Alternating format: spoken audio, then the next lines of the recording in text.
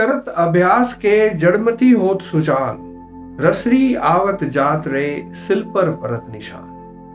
जी हाँ आज मैं बात करने वाला हूँ अभ्यास के बारे में, अभ्यास की शक्ति के बारे में आज मैं आपको बताने वाला हूँ। देखिए, अगर नियमित रूप से अभ्यास किया जाए तो इस ब्रह्मांड में कोई भी चीज़ जो है वो मुश्किल नहीं है, क्योंकि प्रैक्टिस ही एक एक्सरसाइज है।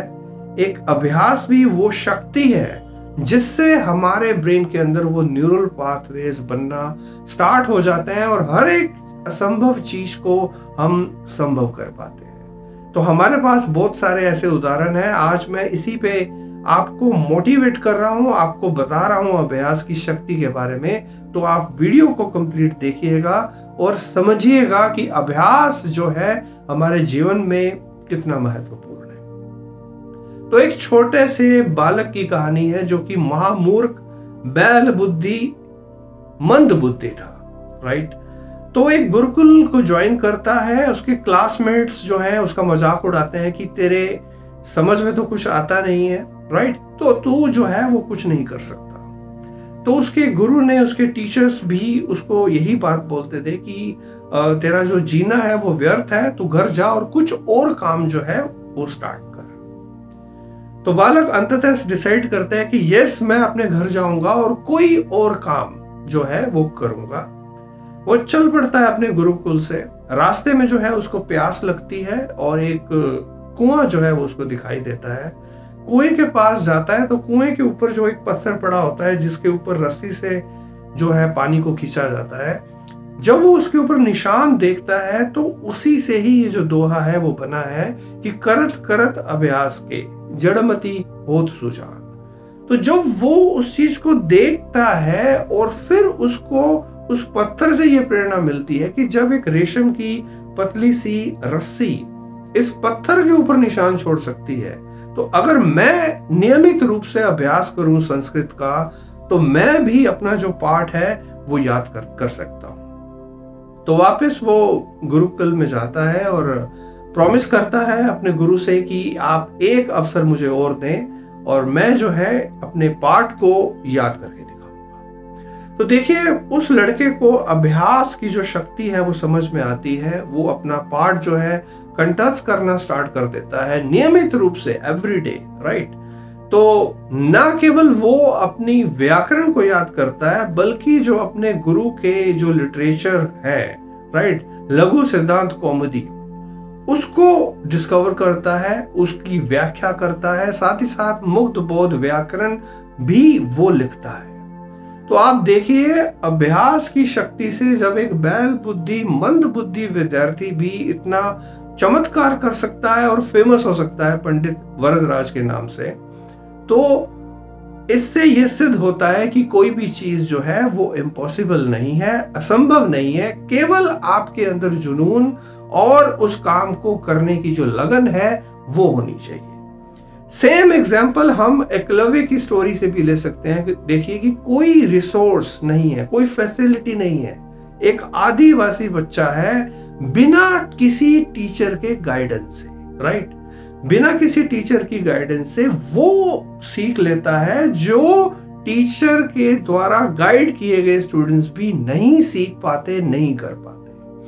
तो एकलव्य से बड़ा कोई उदाहरण हमारे पास हो ही नहीं सकता कि देखिए तो ये जो प्रेरणा स्त्रोत्र हैं, आप इनसे प्रेरणा लीजिए राइट और हर असंभव काम को आप संभव कर सकते हैं। केवल एक ही शर्त है कि आप उसका अभ्यास कीजिए। यही प्रेरणा हम कालिदास से भी ले सकते हैं, जो कि बचपन में महामूर्ख के नाम से फ़ेमस थे।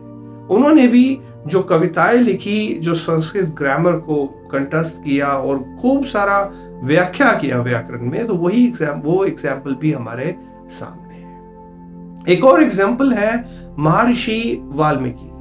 अगर मैं इनकी बात करूँ तो देखिए, पिछले जन्मों के जो संस्कार हैं मतलब इतने हैवी थे, उस जन्म के भी जो संस्कार थे, वो इतने हैवी थे बेसिकली वो डाकू थे। और जब नारद ऋषि जी से उनको ये प्रेरणा मिलती है कि उनको मंत्र जप करना चाहिए और सेल्फ अवेयरनेस की तरफ़ जाना चाहिए। तो वो नहीं मानते, लेकिन काफ़ी समझाने के बावजूद जो है नर, जो नारद महर्षि हैं, उनको ये बोलते हैं कि आप ठीक है, कुछ मत करो, केवल एक शब्द है, आप राम का जप करो। तो वाल्मीकि जी कहते थे कि राम शब्द जो है वो मेरी समझ में नहीं आ रहा। मुझे अभ्यास ही नहीं है राम शब्द बोलने का। तो नारद ऋषि कहते हैं कि ठीक है, राम नहीं बोल सकते तो कम से कम मरा तो बोल सकते हो, क्योंकि आपका तो काम है मारना, लूटना। तो मरा मरा मरा मरा मरा मरा जो है, वो रिसाइटल जो है, उन्होंने स्टार्ट किया वाल्मीकि जी ने। तो उनको नहीं पता, वो बोलते तो मरा मरा मरा मरा थे, लेकिन अंदर राम राम राम का जो वाइब्रेशंस है, वो गया और उनकी जो चेतना शक्ति, जो मूलाधार से शस्त्रार के ऊपर जो है उठनी स्टार्ट हुई और इतने महान, इतने चमत्कारी जो महर्षि बने कि उनके शिष्य ने भगवान को हरा दिया तो ये हमारे सामने ये जो कथाएँ हैं, ये हमें प्रेरणा देती हैं, ये हमें मोटिवेशन देती हैं कि हम अभ्यास करें। काफ़ी सारी क्वेरीज आती हैं बच्चों की कि हम, सर, कुछ नहीं कर पाते, हमारा मन नहीं करता। कुछ करने का। देखिए, आप अपने आप को मोटिवेट कीजिए, आप अभ्यास कीजिए। खाली वैदिक मेमोरी मेथड समझ लेने से या साधना वन या टू टाइम्स करने से बात नहीं बनती है। पत्थर के ऊपर ये जो निशान है, वो तभी आएगा जब आप नियमित रूप से उसका अभ्यास करेंगे।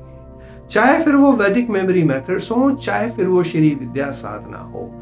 देखिए, प्रयास करना प्रैक्टिस करना। अभ्यास ही एक साधना की तरह है, ये खुद एक साधना है। तो आप अपने आप को मोटिवेट करें, अपने आप को सेल्फ हिप्नोसिस में अपने आप को ये सकारात्मक सजेशंस दें कि आप अभ्यास करेंगे।